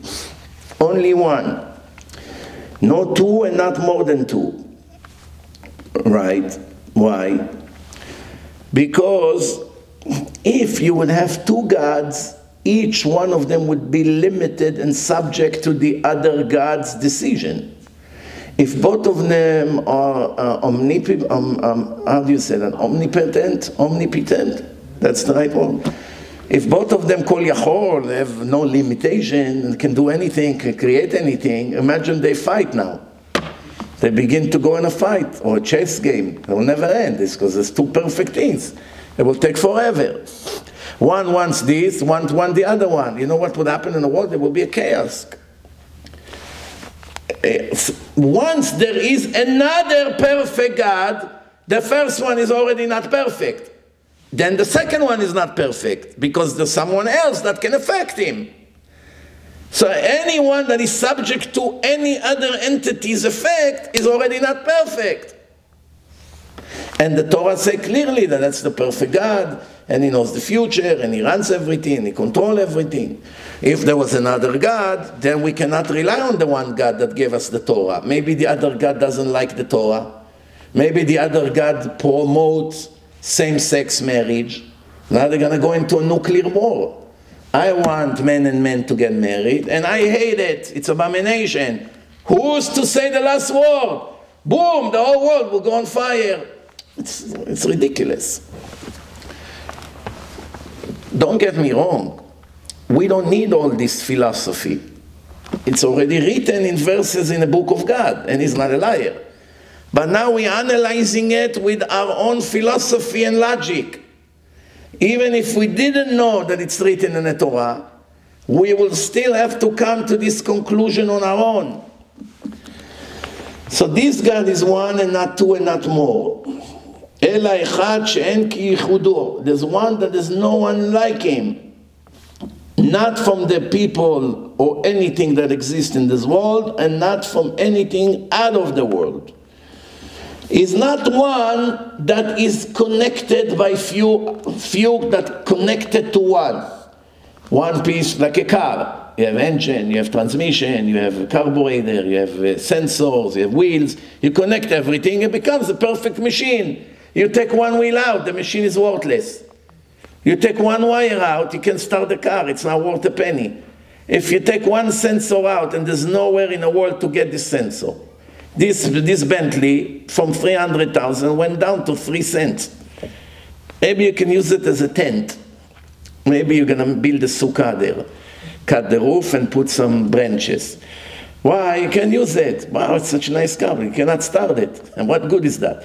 So you mean it means in order for the car to be perfect, it needs lots of pieces to be connected in the right places and in the right timing and to work together in a perfect harmony. That God is not like that, He's one. And there's no connections to Him. or upgrades or pieces who got together to create that perfect supervisor. So, if there were many gods, then we would not have any control in any events. Nothing will be certain. There would no point of giving Torah when there is another superpower who can overrule everything that it's written over there. God say, if you be Mechalel Shabbat, you lose your eternity and you put to death. The other God would say, no, I disagree with this ruling. I want it to be like this. What are you going to do now? Follow the Torah or get the other God angry? It's not possible. So, he doesn't have anybody and he doesn't have an end. He will never die and he doesn't have a limit. And everything he does is with a very deep, smart purpose. This God, since he doesn't have any limitation and no end and no stoppage, he never stop in anything, everything constantly will always function, and everything will roll forever as long as he wants. Therefore, his physique and strength is different than the strength of every creation that was made by him. Like our strength is subject to many things. If you eat, you will have time, you will have energy to walk. If you fast a week, you're not going to be able to move. Meaning your entire energy depends on other things. Even that is limited. It's subject to many different things in the body to function and other things that you need in order for you to function and to be able to talk or to walk. But he has no, he doesn't depend on anything. His strength is perfect, will, will always be perfect, and nothing can ever affect it. He doesn't need any upgrade, or he doesn't need any assistant to make him function the way he functions. So, the fourth one, since he's different than all the things we know and everything that was created by him, and his truth is different than any truth that we understand in our common sense and life. All the creations, meaning people, animals, raw material, galaxies, sun, moon, all of that, they constantly depend on him. They need him, but he doesn't need them. To say that he needs someone, it's a huge crime, like Santa Claus said. Very big crime. He needs us. Just you use the word God needs, it's already heresy. Any word God needs, heresy. You an heretic, we cannot count you in a minyan. And it's not open for negotiation, and I don't care which rabbi will defend him. You understand? If someone come to defend him, he's no better than him. He's the same heretic, and I don't care titles, and I don't care who, and I don't care names. Saying that he's a needy in any way, it's already kofir. You cannot count him in a minyan. He comes in, you have nine people, he comes in, he cannot take out the Torah. He can say Kaddish, he can say Barchu. Find a kosher person. If not, you, you can pray by yourself. That's it. Ah, but we are ten. No, no, it's not count. He say God needs us. You cannot count him in a minyan. Anyone who follow the shtuyot cannot count them in a minyan. We don't have minyan, we don't have minyan, we're anusim. Anus. Anus Rahmana Patre. But it's Yom Kippur, doesn't matter. You cannot take apikorsim, kofrim in Hashem and count them as regular Jews. You can't. It's against the halakha. We get to it soon. So, all the creation needs Him. He, Baruch Hu, אינו צריך להם. Doesn't need them at all. לפיכך, therefore, his existence and truth is completely different than their existence and their truth, which is a whole different concept. This is the words of the prophet, Vashem Elokim Emet. God is the truth, the ultimate perfect truth. By Him, it's a perfect truth. All the truths we have in this world, it's always mixed with other things. His truth is pure and perfect and doesn't have any tiny reduction in the truth. It's 100% truth It can never be 99.9999%. There's no such thing. הוא לבדו האמת. He himself is the truth. ואין לאחר אמת כאמיתותו, and there's no way to reach truth anywhere besides his truth. Meaning, any truth you reach in this world, as great as you are, you're Rabbi Shimon Bar Yochai, Moshe Rabbeinu, Rabbi Akiva, you still didn't come even a bit near his truth. It's beyond and above any understanding.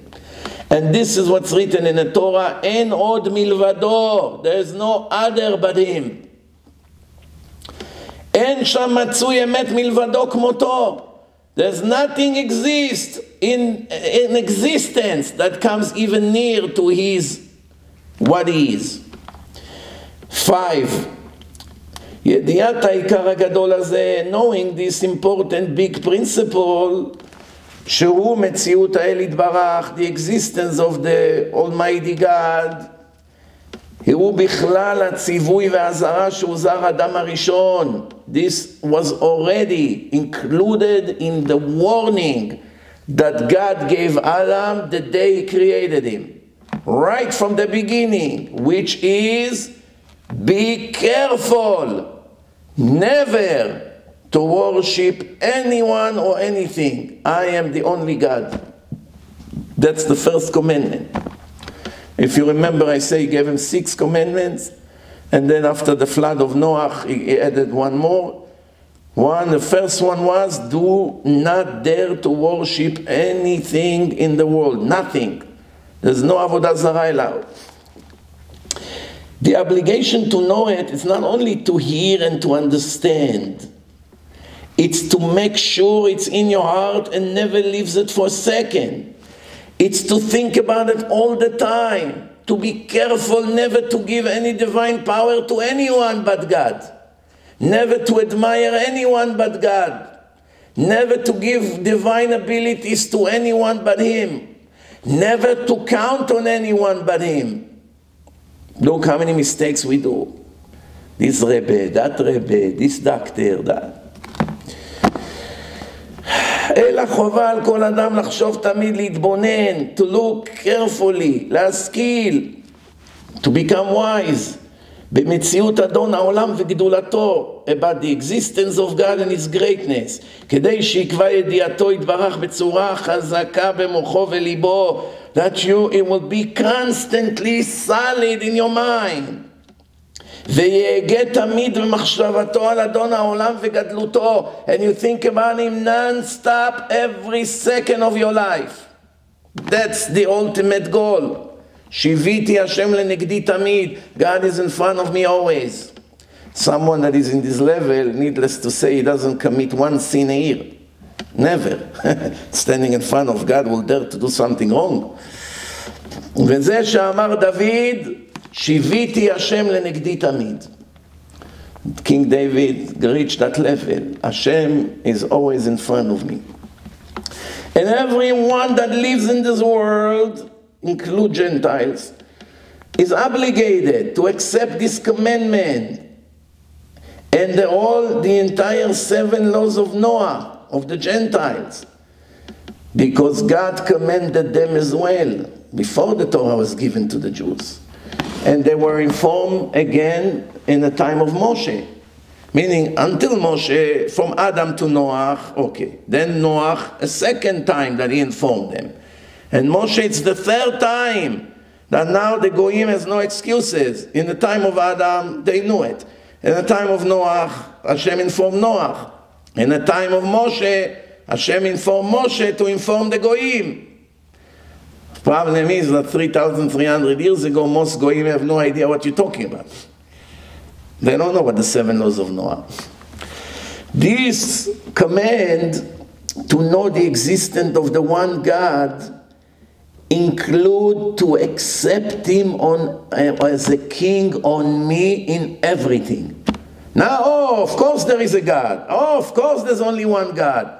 Of course he's a superpower. Of course he has no limitation. Of course he's not a needy. But keep me out of it. No, no, no, no, no such thing.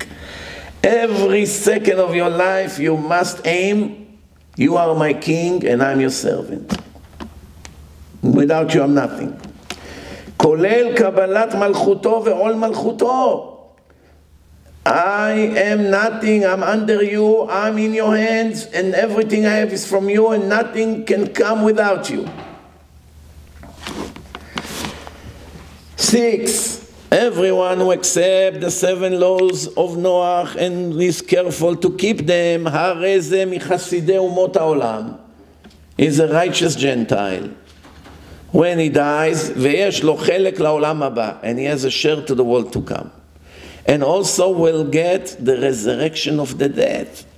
Some goyim will resurrect, and some Jews will not resurrect. Should know there's no discrimination. The question is if you're righteous and fulfill your obligation or not.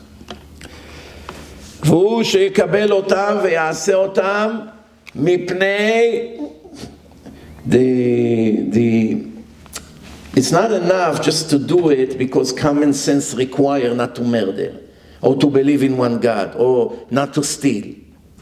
No, no. Remember, we spoke about it in the first lecture. What is it? You should accept them because Hashem said so.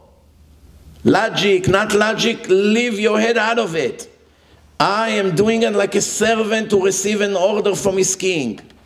If the Gentiles do it because God said so, they are righteous and they go to heaven and they will resurrect in the resurrection of the dead. Wow. Just understand how many how miserable the Christians are. Just believing in JC messed up their entire Olam Haba, the next world, the resurrection. They won't resurrect because they're all idol worshippers. Just because they believe in a, God has a son and he has power and he will save the world, that's already an idol worship. So, Rabotai,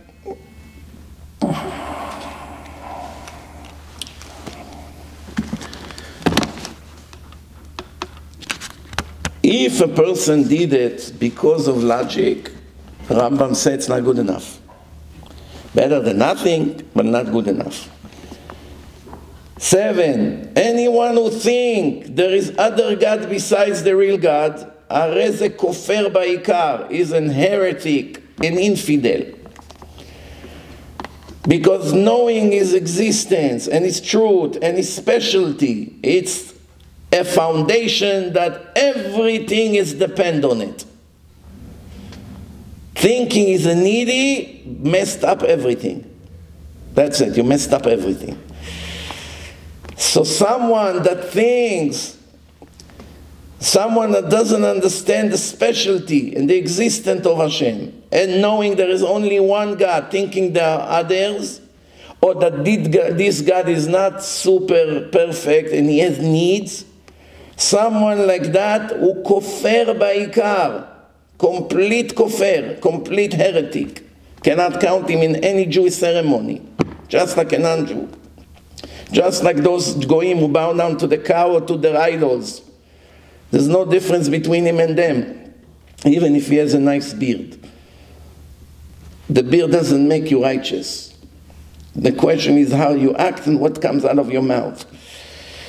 ואחד כזה הרי זה מין ועובד אלילים שכל מין הוא עובד עבודה זרה. המינים אין להם חלק לעולם הבא. Who, are, who consider a min? Someone who said there's no God at all. I'm an atheist, there's no God. I don't believe in God. Immediately you lose everything. Someone that said there is a God but there's more than one, like the Greeks, immediately lose everything. Someone that said there is a God but he's a body, He's in a body, like the Christians. Here, JC is the God, Son of God. He has an image, he has a face, is a special light. Someone like that is also a min, loses everything. Someone that say he is the only one now, but there was one before him who made him. Meaning there's one, made him, and he, I don't know, disappeared or died, and now he's the only one. But there was another one before, also loses everything. Someone worship anything but him, such a star, special signs, horoscope, the stars, or anyone that is a broker between us and God, like the Buddha. They don't really believe in a piece of metal. They just believe that God comes into this object and from here he's going to run the show. Or the Indians that bow down to the cow, they think the cow is holy. It's all kinds of beliefs that through this, the God will reveal himself to us and do certain things.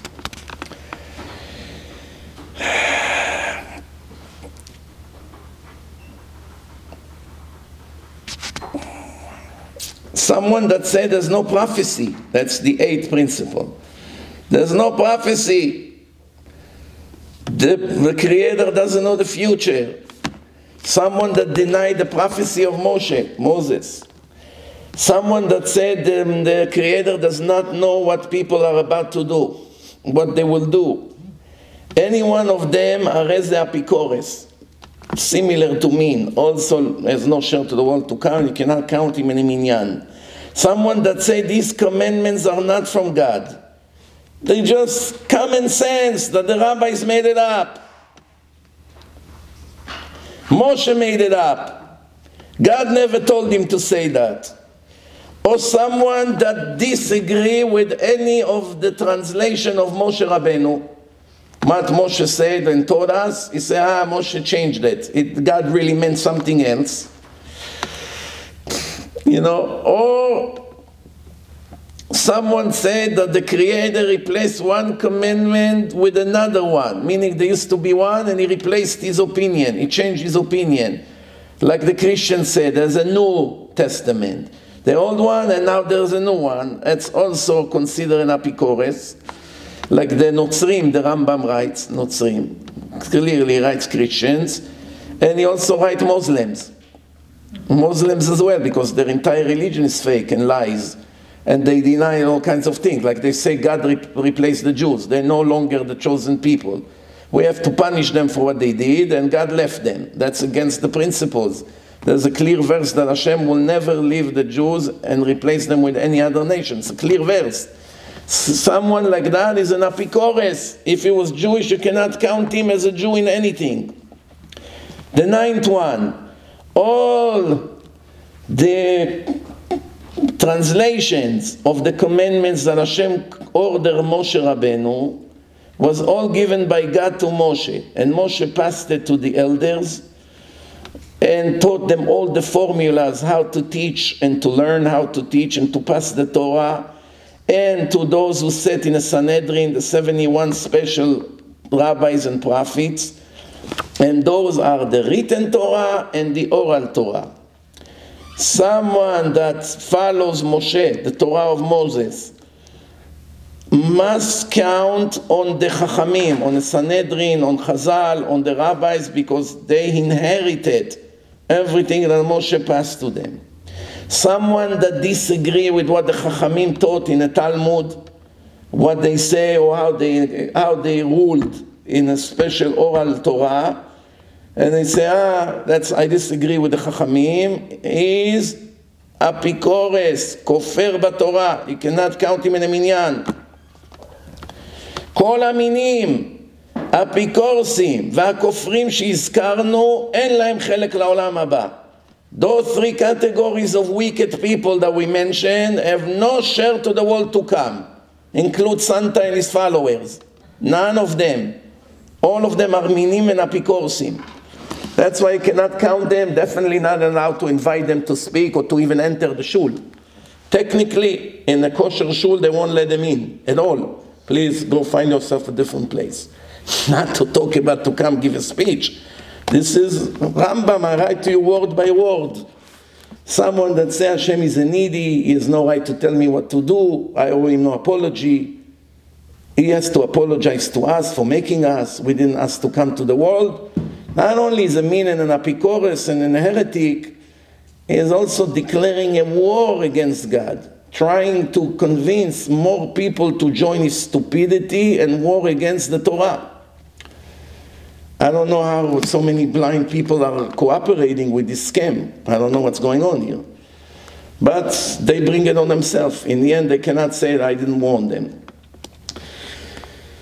As it's written, the Rambam say, Yashuvu Reshaim Lishola. This wicked will go down to hell. Sheol is one of the seven places in hell. Kol goim shocheche Elokim. All the nations that forgot the real God. That's where they're gonna end. כגון מין והאפיקורס ואפילו שלא עבדו עבודה זרה, even if they did not worship an idol, they go to hell for disobeying those principles or contradicting them. שכחו את העיקר, they contradicted those principles. 11.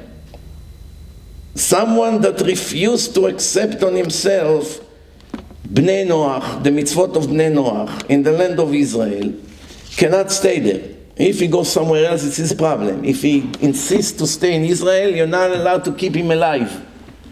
He has a death penalty and the court have to execute him. The court of the Gentiles. Because one of the seven laws that the Gentiles must make a court and police and ruled the seven laws of God to all the nations. And if they refuse to and they rebel against him, they can.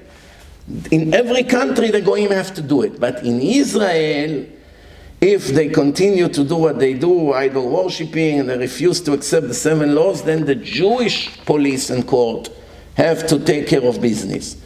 Any other way, that's their problem. They have to make their own court and to and make sure to enforce the laws.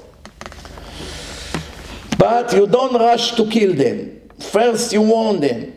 And if they will repent and accept the seven laws, good. And if they insist, you do not let them continue with their evil actions.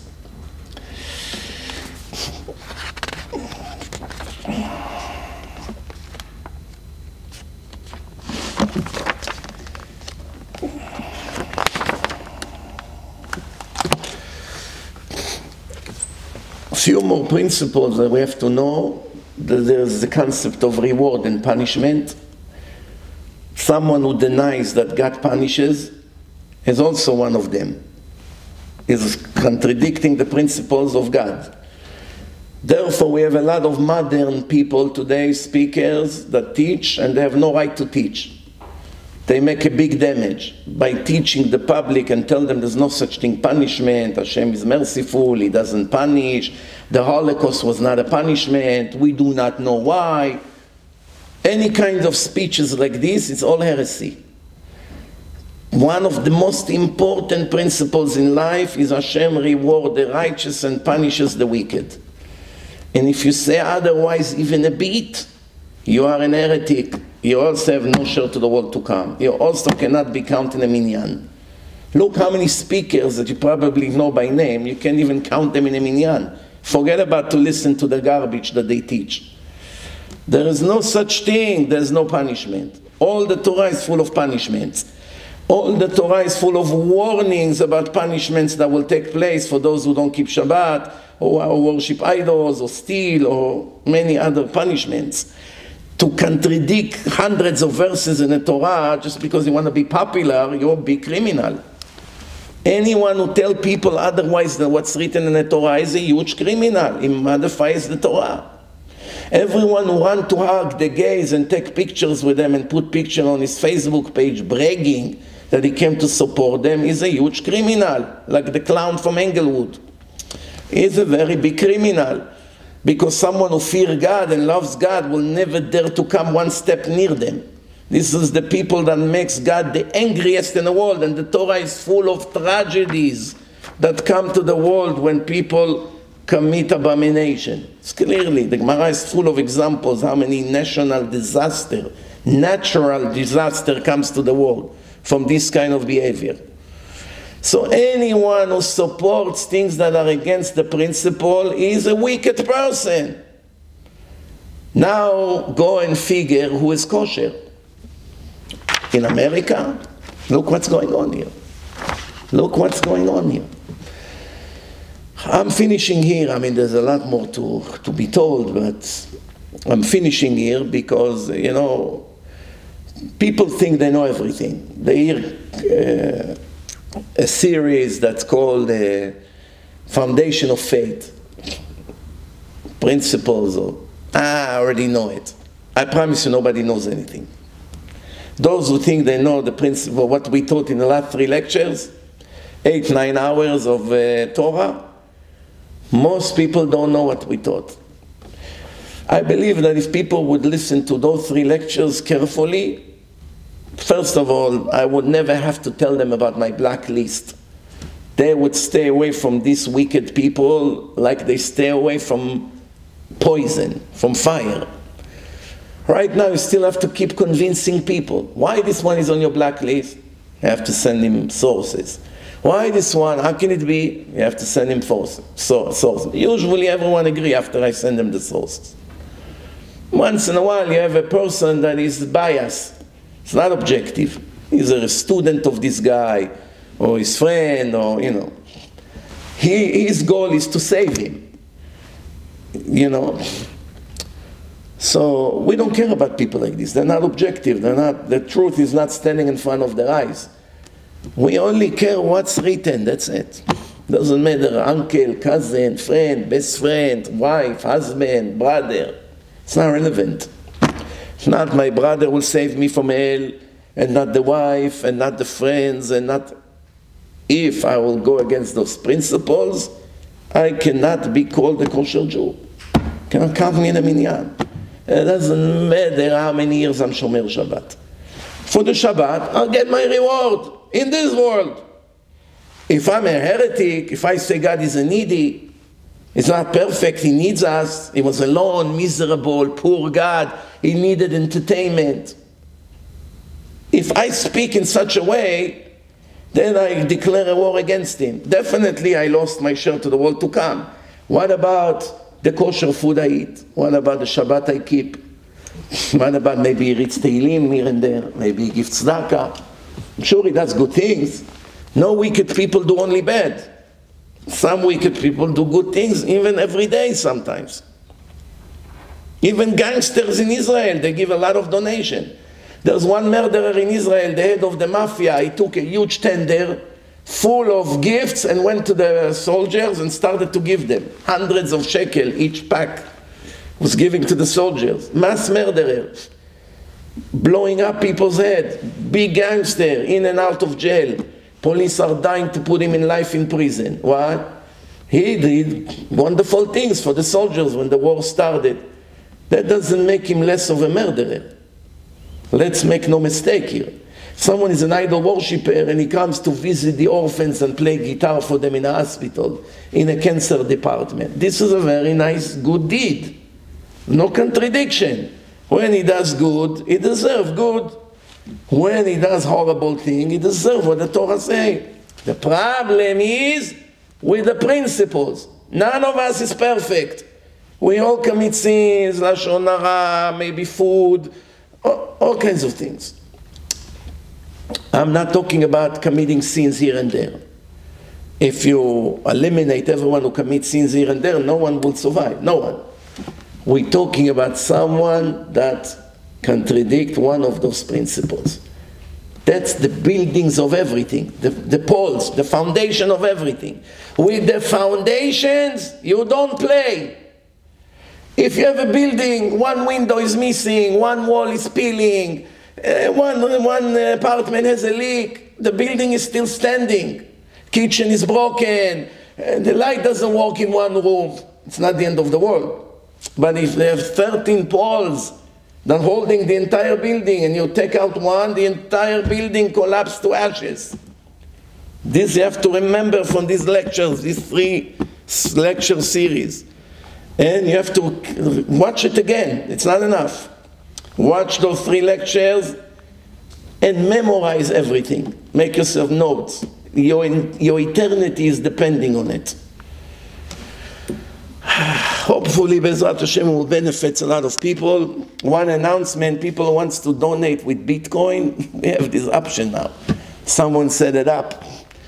It's good. A lot of people make tons of money now on Bitcoin. They can give their maaser. click of a button, send it, we can save some souls with that. ברוך אדוני לעולם, אמן ואמן. רבי חנניה בן הקשיא אומר, רצה הקדוש ברוך הוא לזכות את ישראל, לפיכך הרבה להם תורה ומצוות, שנאמר אדוני חפץ למען